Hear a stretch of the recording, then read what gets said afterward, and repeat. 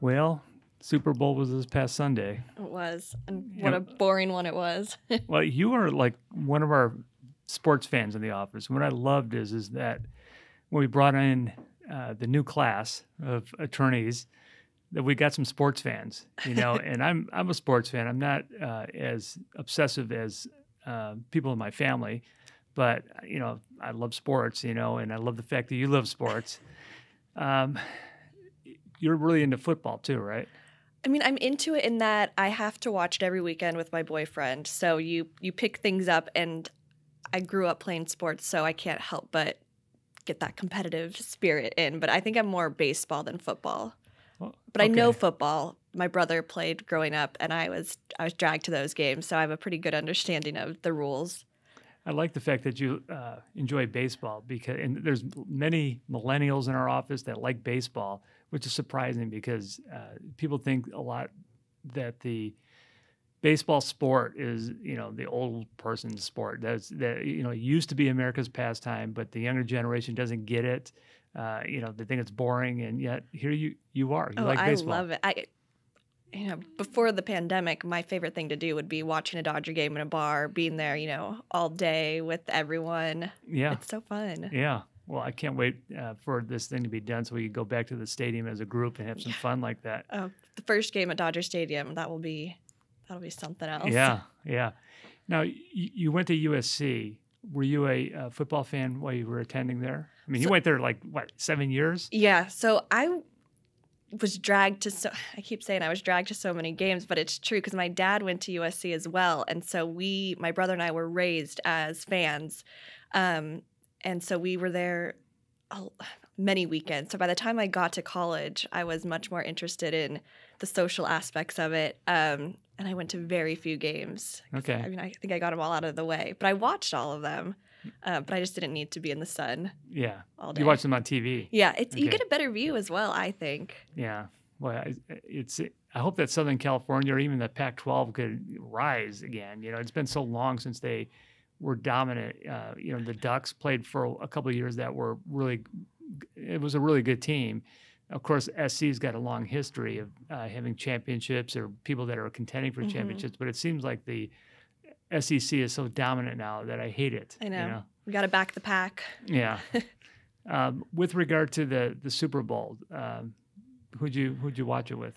Um, I watched it. We usually have a big party, and I get very excited. I make lots of themed food, and this year it was just my boyfriend and I, his roommate, and his girlfriend. Sort of a mini the mini pod we've been doing things with. Um, and we got some ribs, and so it was very special in that we got to finally be social. It sounds like that was a pretty good time. I yeah. mean, you had food and you had company. Um, I'm used to going to my one of my best friends' house. I don't know if you know, know Steve Yee. Do you mm-hmm. know him? I've yeah. So you know he's, uh, you know, an employment attorney, and he brings in uh, all of his clients, man, from throughout the country. Uh, he actually flies them in, puts them up in hotels and uh, caters to us for a whole weekend. So we not only have the Super Bowl game, but we have a Super Bowl weekend, and it really is like a mini vacation. And it's so much fun. And he he's the most energetic person that you know. I can only do about eighty percent of the events. You know, but you know, he does poker. You know, uh, after we've you know dr- dragged through the city and seeing all these great things and stuff, then he has poker that starts at like ten or eleven at night. It goes all the way to five, and I don't know how he does it, but I did miss that this year. Actually, I think you were telling me about that last year, um, and it sounded really fun. Oh my God, I, you have to see pictures of it. I mean, it's just wild. You know, he has this house that's a sports bar, and his wife is an angel. You know, and, and he's got these big sons, man, that play football for college and stuff, and they're just these really, really nice people and stuff. But it's, uh, it, you know, uh, you just can't replace that by me and Maria watching it on TV. It's just not the same. so uh, today we're going to talk about a very important decision, mm-hmm. and, it, and it has to deal with who is responsible for paying student loans after a divorce. I mean, a husband and wife, uh, you know, are married. Somebody goes to school, or somebody has student loans that uh, are incurred during the marriage. Who has to pay for that? You know, is it is it a community debt? Uh, is it you know the person who went to school? You know, so that's what the the real issue is, and uh, I think that this is something that's rarely spoken about. But uh, we're going to talk about a case that really enlightens us on this, right? Definitely. What's the name of the case? Oh, yeah, I knew you were going to throw it to me. So it's um, in remarriage of, and I did write this down phonetically, Mullonkal and Cody Yam Plonkill, I Ah, believe. I, you- I Googled it and I did not get any responses. So this is my best attempt, and I apologize to anyone that That's I'm okay. That's way mispronouncing it way better than what I could do. So uh, why don't you set it up for us? What are the facts? Okay, so we have obviously a married couple. Um, they were only married for about three years. Uh, before they were married, um, she, the wife, went to medical school. Um, and she either graduated right before they got married or right after they got married. I no, I'm sorry, it was before they got married. Um, he was living in India, which is where they met. Um, so she was living in Michigan, and she started her medical career. She then, let's separate there. So they're they meet in India. Mhm. They get married, but they don't live together. No. he remains in India. He's He not here in the United States, yes, and he's living with or she's living with. her parents. Okay, in the state of Michigan. Michigan. Okay, And then I think it was only I think it was 2014 that he came to California, um, and they were married in 2011. So it was a you know they were long distance for a while. By the time she moved to California um, in May 2013, excuse me, sh he came and joined her. She was um, still working and making about two hundred thousand dollars a year. In Michigan, she was making about two hundred and twenty-five thousand dollars a year. Um, she paid for his immigrate some immigration fees, which weren't very much um, once he moved here, and she essentially took care of all of the expenses. During that time, she was also paying off her student loans. Um, some of them were with financial institutions, and some of them were just her parents. Um, and actually, I think her brother a little bit too. okay. Well, let, let's slow it down a little bit. You're zipping through this thing. Uh, I love these facts. I want to kind of massage them a little bit. All right. Before she comes to California, I believe she, uh, she starts paying off the loans. Mhm. Uh, meanwhile, hubby is still in India. They're not living together, but they're married. hmm So her income during them, this marriage is considered community property, Yes. right? So she's using community funds to pay back her student loans, which she eventually pays them all off, right? To Yes. the tune of how much? So, um, her institutional loans, I think, came out to one hundred and fifty-three thousand, hundred and fifty-three thousand dollars. Um, but she paid about twenty-three thousand of those dollars before marriage. So the community um, gave a hu- hundred and thirty thousand dollars. She paid the com- the community paid back the student loans, Mhm. one hundred thirty-three thousand. So this is one of those cases where uh, somebody's using community funds to pay off uh, some student loans. Right. She's living with her parents, so she could do that. I mean, she's Mhm. probably not paying very much rent or anything, and she's earning a good salary and she's paying this. Does she pay anything else off? She's and then she does pay off the loans to her parents um, in lump sums. Um, one was almost fifty thousand dollars, and one was sixty thousand dollars. And that sixty thousand dollars was paid um, two days before she met with um, an attorney. Which I thought was a little interesting fact. Um, another interesting fact that they don't get into too much is that while the husband was in India, he was working, and so that money would be community as well. But there's very little discussion of of that. How much he earned, where the money is, and Mhm. yet they also said he had assets in Right. India. They don't focus too much on that. Okay. So, and I, maybe we could talk about why. Okay. so, so from what I understand is is that uh, she pays back more than hundred thousand dollars to her parents for personal loans with Mhm. community money, hmm and then she gets maybe a better position, and she moves to California, and hubby then flies to America and takes residence with her in California. Mhm. Correct. hmm Okay. Now, during that marriage, uh, what kind of work are they doing? So she's working in the medical field. Uh, I'm not specific. I don't specifically know what she's doing, but he's not working at all. She's still working within her profession, Mhm. making decent money, hmm and he's not working at all. No. Okay. And I think um, he's also not raising a child at that point. Um, they do have a child at some point towards the end of the marriage, uh, but for the majority of time, uh, you know, he's not being the single parent or anything. You're not calling this guy a couch hubby, are you? No, I just Okay. think it's interesting. I, I noticed a little bit of an attitude there. No, I think some. I think when you think that someone's not working, you think, well, they must be raising the child. There's no child here. So I, I, I did wonder what he was doing. I thought so. You're kind of going, uh, was he watching TV? What, what's this guy doing while she's working, right? I know. So that probably tells you a little bit about how I feel about this case. a little bit. okay. Well, let's go on then. Okay. So, so they have a child. They have a child um, towards the end of the marriage. Okay. So and at some point, they, they the marriage doesn't last. That's they have why irreconcilable differences. and who files for divorce? I think she does. Okay. Actually, she does. She, okay. So she files for divorce, and uh, they try to settle the case. And there's an issue that comes up in the mm-hmm. case, and mm-hmm. what is it? So the court. Well, the, what's what's the issue? The trial court. The issue is whether or not the community needs to be reimbursed for um, expenses made towards paying off one of the party's student loans. Okay, and so uh, she's not making that an issue. He's making it an issue, or his attorney. Yeah. So good attorney and the attorney is saying, "Wait a minute." Um, you know, during the time that you were, and they weren't married that long, right? I think about three years. Okay. During that time, you paid off these student loans, and I'm invoking this the code, right? Do you have the code number there? I do. Section 2641. Right. 2641 is the provision that we're going to be talking about in this decision. And that code says what? It says the community shall be reimbursed for community contributions to education, including educational education loan repayments. Um, but then it goes on to say that um, there can be reduction or modification of reimbursements to the extent circumstances render such a disposition unjust. And then it goes in further about what some of those ex- exceptions um, are, and it includes where the community has substantially benefited from the education, where the education of one party is offset by the education of the other party for which the community also contributed, and um, where the party's education substantially reduces that party's need for support payments. Okay, so some important facts. Also, isn't there like a ten-year rule here? Mm-hmm. What is that? What is that rule? So that goes to that first point um, where the community has substantially benefited from the education. There's a presumption that if the loans were paid off ten years ago, that the community substantially benefited from it and then the reverse is true. But with presumptions, you can overcome those. Okay, so we've got this 10 year presumption that if the loans were paid off before uh, 10 years of the marriage, then uh, then the burden is really going to be on the person that wants reimbursement. But Correct. here it looks like the burden is on the uh, other person because it's mm-hmm. within 10 years. So wife had the burden of proof here to show those things again. Could you state uh, the, the first one again?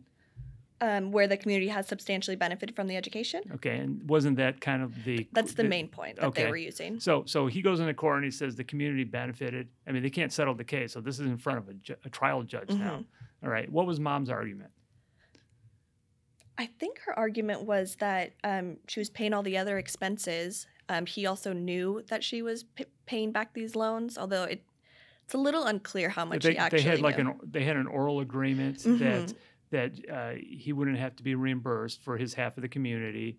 Also, I think that there was um, some discussion about well, I paid for his immigration fees, right? And I and uh, I took him on a few vacations. Okay, where did they go on vacation? Like they went to Hawaii and India. Yeah. Um, but even the when they went to Hawaii, it was um, for a work conference, so part of it was paid for by her employer. Oh, I didn't read that part. Yeah. Okay. Which I thought was interesting. Um, and then part of that oral agreement that I thought was interesting was they had a, an understanding that they were going to try to lead a debt free life, which I think she was trying to argue meant it was okay for her to make these large payments to her parents and that he was basically aware of them because they are going to be living this debt free life. So he benefited from it because she was frugal and paid off her debt so that they could live this. So he was lucky that she paid off this stuff, right? That's not the argument I am making. No, I wouldn't go that far. Um, I do think it's a little interesting that she tries to use that argument to say, so of course I could give my parents sixty thousand dollars without running it by him. Um, I don't care what position you are in your marriage. I don't think anyone she, would be. She loved happy. her family. She did love her family. She and took them on a lot of vacations talk, talk as well. Talk a little bit about that. So um, she took him on some vacations, but she took her family on a lot of vacations, and she also would even for the trips that she would take with her husband, it seemed like her family was coming along as well, um, all being footed by the community. Okay, and so they went on uh, trips to Hawaii, right? Hawaii, India, Las Vegas, cruises. Um, she sent her brother on a couple of trips. Mm-hmm. says, "Here you go. Here's some checks, so you go on some you trips go. and stuff." Mm-hmm. So that's a tight knit family. Definitely, not, not a question.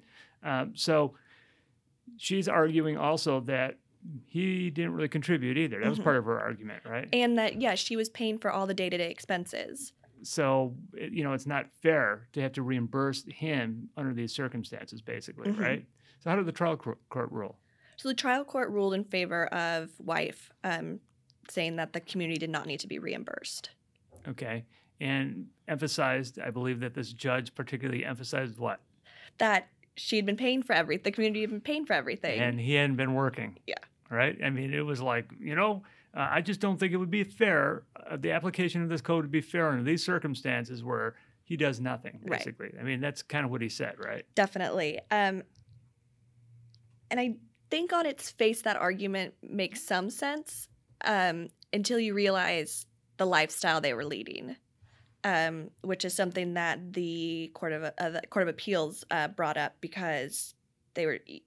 She was paying for a very, very modest lifestyle given the amount of money she was making. So I think it was something like the apartment they were living in was thirteen hundred dollars Oh my gosh. which isn't cheap for you know the everyday person but if you're making 225 uh hundred thousand dollars that's that's It's a piece of cake. yeah Yeah. it's easy to make um so i think if you look at the nuances of this case it makes more sense why they reversed um the trial court's you, oh, you- you just like spoiler. you just ruined it for spoiler. alert. She's already spoiled it. Okay, it goes up on appeal. I. See, I want to be dramatic, and you want to get right to it. Okay, i know it's So- that that law school train i just want to get my turn done and That's okay. I'm not a law professor, and you won't be absent for the day.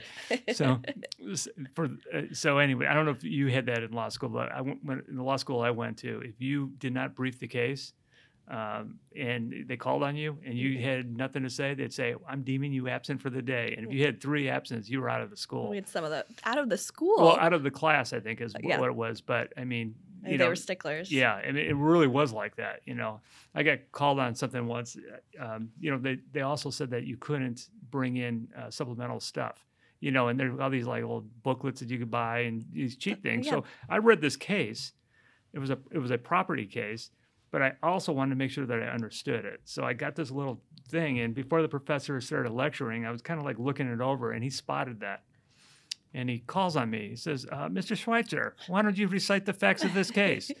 And uh, I started reciting them, and he goes, "Yeah, but you got that thing over there, right there." And so he started like really probing to see if I really knew the case. And the way that I got out of it, he said, uh, and it had- to deal with the the death of one of the guys. He said, "What do you think was with him? Why did he do that?" I said, "Well, I think that he was circling. He knew he was circling the drain, you know." And he just started laughing and everything, you know. And he realized I had read it, and he gave me a pass. But uh, yeah, this isn't that. Okay, okay. So long you could, story you could slow down. You could you could build into my dramatic uh, effort here. So, can I hear some music, please? It, goes up on appeal. Oh, what's okay. gonna happen? okay. Suspense, right? And so, what did the court of Appeals say? The Court of Appeals um, reversed the trial court's decision and did rule that. Actually, this was something I meant to look up before, because they they found fault with the way the trial court decided, but they didn't actually make a ruling that the community um, was entitled to reimbursement. They said that the trial court had used the wrong standard. Um, so I, I meant to look up what has happened to this case. I'm sure it's been in litigation for a long time, so it's probably sort of moot at this point. But I did have that. Well, was it was it remanded? It just said it's reversed. Yeah. So, If, it, if it's reversed, that means that it's saying no. Uh, she's got to reimburse, but it had to have been remanded somewhat, right? Oh, you know what? The matter is remanded with directions to order wife to reimburse the community for community funds spent. Okay. Yeah. So sorry Yeah. for that detour. I it had been on my mind, and if I had just read the conclusion more Yeah. carefully, yeah. but they did find a lot of fault with the way that the trial court went about its decision. Um, so I do wonder if the trial court had maybe maybe come to the same decision but use some different um, logic. I wonder if they would have reversed it. Uh, Possibly. yeah. Well, let's talk about what some of the faults that the court of appeal found. So the biggest one, and I think it's really interesting, is um, this. It begins with this idea of community property that money made during the marriage is the community's, regardless of who makes it, and that's a very basic tenet of property in or community or property in California. Um, Court of Appeals found that the trial court was basically saying that the non-working party, the husband in this case, had to earn his right to this reimbursement or to the community. And so they're using that argument that you were you know cheekily using as well. Like, he wasn't doing anything, so he really didn't earn a right to it. And so, that's so you're telling me that a spouse could be a couch potato, not work, not even a penny, because in this case he didn't earn a penny, but he's still entitled to reimbursement yes, pursuant to this code, right? And Yes. is, that, is that what the Court of Appeal said? basically yes. Yeah, and that's what it says that the code says, right? Right. Because the code specifically says that, I believe, that you know the court can't deny it based on on that purpose. What else? Um, so that's the biggest one. Um, and then they also they found that I don't know if this will be as interesting to our viewers and listeners, but um, the standard of the review they said fell in the middle of de novo and abuse of discretion, which you don't always see. Um, so I thought that was And how is that important? um, so if it's reviewed on de novo, that means the Court of Appeals just gets to look at the case, fresh eyes, not really even look at what the trial court did. Look at the facts, right? Yeah. And, and kind of weigh the facts themselves, they right? get yeah they're making the decision from you know point zero i guess you know just from the Yeah, beginning. Yeah. um, abuse of discretion is a higher standard and it's much more difficult if the court of appeals has to use that standard to reverse a decision. Um, they have to find that the trial court as the name suggests abused its discretion and basically no logical person would or logical court would have ruled this way. Um, so finding that the standard review and the standard of review is in the middle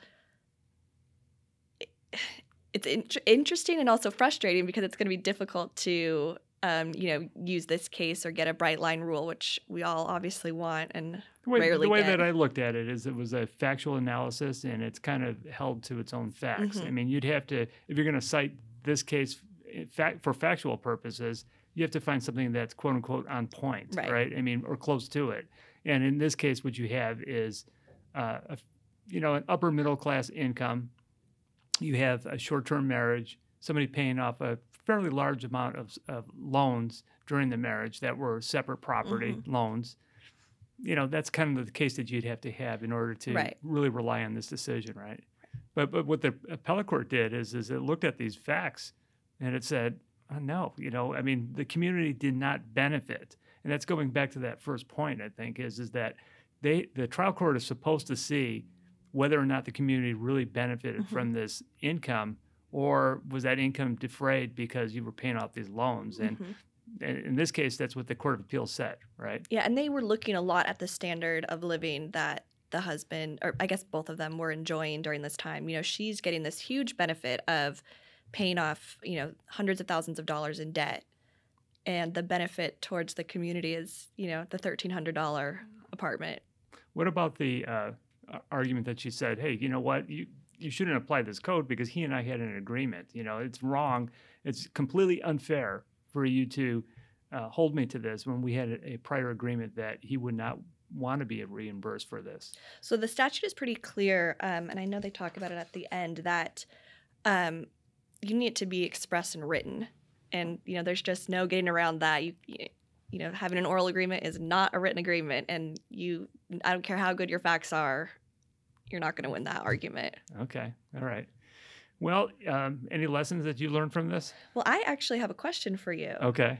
Um, you know, we were talking about how this is pretty fact specific. Do you think the court would have ruled differently if she had been paying off less of her student loans and they were enjoying a higher standard of living? Well, it depends, obviously, you know, but yeah, I think that that could be the case. I think so too. You know, I mean, he did enjoy. He in that case, he would enjoy the benefits of her education, and he could make a more uh, colorful argument. And the uh, court of appeal probably would defer to the trial court more at Yeah. that point, right? I think so. Yeah. And then you could, you know, she paid off, you know, a fourth of it and he's living in, I don't know, the $5,000 apartment. I think you could make a, an argument that the community definitely benefited from her education. Yeah. So this is really applicable to a lot of uh, people out there now that have massive student loans. Mm-hmm. You know, um, unfortunately, we're in this time period where people go to college, and uh, the student loans dwarf what people in my generation had. When I left Right. uh, college, I had uh, a whopping seventy five hundred dollars, and uh, How are you going to get out of that? and I think I got some assistance on that from the police department. Uh, you know, so it wasn't a big deal. My law school was, you know, it wasn't cheap for the time, but I still was able to pay it off. Mhm. Nowadays, people are coming into these marriages two hundred thousand dollars debt. I mean, it's it's really a scary thing. Mhm. And so, you know, what happens if they're paying off that student loan debt and they never really live according to their income? And at the end of- of a marriage, there's this massive amount of reimbursement. Just going to be in more debt at that point, it seems. Maybe, maybe premarital agreements uh, make more sense. I think so. And I think, as we talked about, you know, those oral agreements don't mean anything in this context. So, you know, I think there's a stigma around prenuptial agreements sometimes. There shouldn't be, I don't think, Yeah. because the way the law is written, they're necessary a lot of times. Yeah, I'm not, uh, you know, I, when I bring in clients that either want a premarital agreement or the other side does, you know, I do what I'm supposed to do. I, I read them or, you know, what their rights are. I let them know that what they're waiving. I'll advocate strongly for them if they don't like what's proposed or what the other side is saying. But ultimately, you know, I'm kind of a middle of the road type of person. Uh, I do think that premarital agreements sometimes cause stress in a relationship because it shifts power. There's a lot there's something to argue about that could get really ugly. Um, you know so so you know i see problems sometimes with premarital agreements but in this case if somebody's coming in with a massive amount of money like this and they're paying it over a 10 or 20 year marriage well actually that wouldn't apply. Let's say that the marriage was nine years you know um, mm, you know I, that that's a tough one uh, so you know uh, drink lots of champagne go on vacations g- rack up your credit card get in more debt so you don't have to p- reimburse right Exactly. That's what they want us to take from this.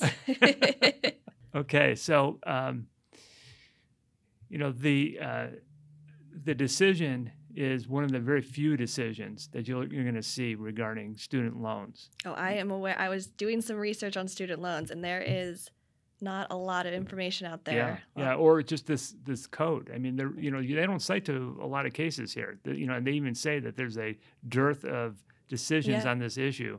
But this might be one of the issues that we're going to see often, and people that come to us are going to have. So I think so. I, I appreciate your your scholarly uh, efforts to, you know, educate people on this, and uh, you know, I can't wait to see you speak at the next time. We're gonna we're gonna have another case for you sometime soon. So Very excited. Thank you. thank you.